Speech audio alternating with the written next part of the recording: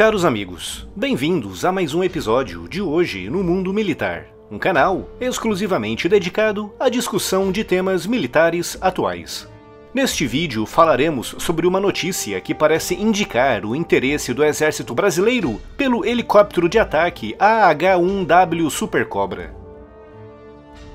Nesses dois vídeos, cujos links estão aqui na descrição, publicados no canal há três semanas atrás, falei sobre a notícia divulgada pelo governo dos Estados Unidos sobre a venda de helicópteros de ataque Super Cobra AH-1W. Essa versão entrou em serviço pelos fuzileiros navais norte-americanos no final dos anos 80 e a sua robustez, versatilidade, poder de fogo e custo extremamente baixo de operação e manutenção fez dele a espinha dorsal da força de helicópteros de ataque dos fuzileiros. Foram empregados em muitos conflitos, mas foi na Guerra do Golfo de 1991 onde eles se destacaram, com 48 helicópteros AH-1W Super Cobra destruindo 97 blindados, mais de 100 veículos blindados de transporte de tropas e diversos bunkers e lançadores de mísseis. Foi inicialmente projetado para dar cobertura aérea de proximidade durante desembarques anfíbios dos fuzileiros navais, mas como a Guerra do Golfo demonstrou, são excepcionais em praticamente qualquer tipo de operação ofensiva. A versão W vem com toda a aviônica necessária para a aeronave poder operar durante a noite e debaixo de qualquer condição meteorológica. O seu sistema de mira é bastante moderno, com o helicóptero vindo equipado com câmeras de visão noturna, telêmetros a laser para definição precisa da distância do alvo e um sistema para acompanhamento automático dos alvos.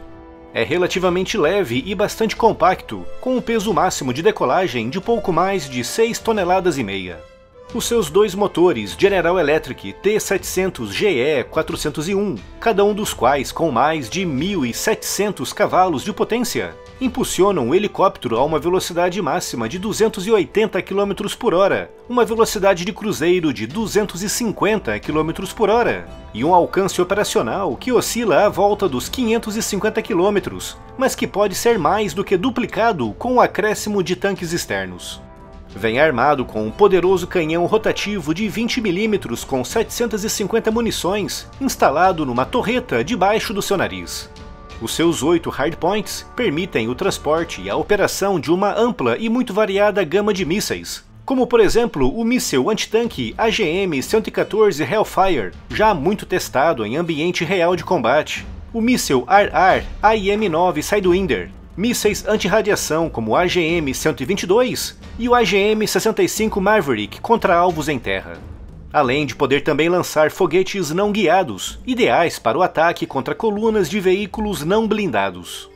Desde 2012 que a versão W vem sendo gradualmente substituída pela versão Z Viper, e por isso muitos helicópteros AH-1W estão sendo colocados à venda pelos Estados Unidos. A venda dessas aeronaves será feita por meio do programa FMS, que permite que o governo dos Estados Unidos faça a intermediação direta da venda para potências aliadas, barateando bastante o preço final e acrescentando também pacotes adicionais como treinamento, garantia e manutenção.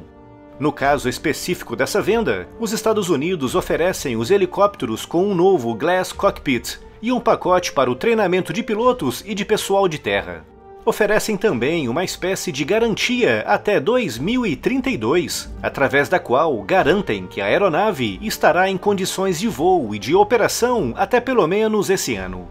O Brasil já recebeu muitos equipamentos militares através do programa FMS, como por exemplo dezenas de baterias de artilharia autopropulsada M109 de 155mm, que saíram praticamente de graça para o exército brasileiro.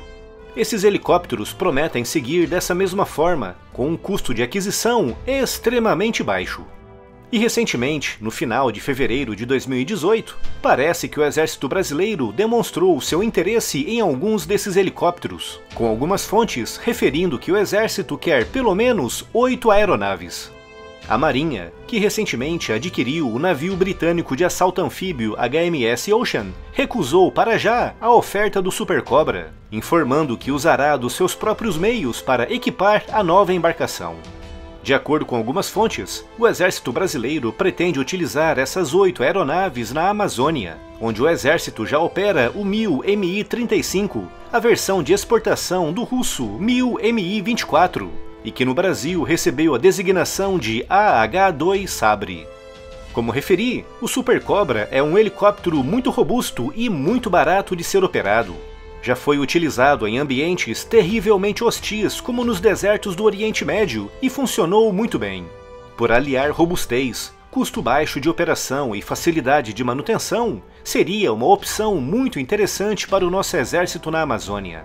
O detalhe um pouco negativo dessa proposta é que se o exército quiser modernizar os helicópteros que comprar, terá de o fazer com empresas certificadas pelo governo dos Estados Unidos.